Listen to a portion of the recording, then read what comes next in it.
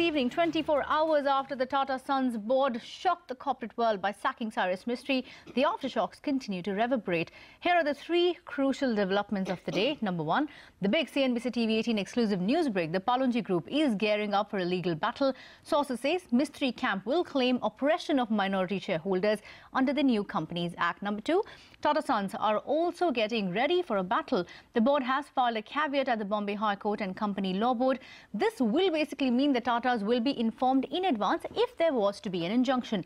Number three, Ratan Tata is back in the driver's seat now. He met CEOs of individual group companies today. Tata asked the CEOs to seek Cyrus Mistry's resignation, and that's because Mistry is still the chairman of individual group companies. And sources say Ratan Tata will be the de facto in charge of all the group companies. In the interim, we did manage to catch a glimpse of Ratan Tata at the Bombay House today. He remained very tight-lipped and said nothing to the army of reporters gathered outside the Tata Group headquarters in Mumbai.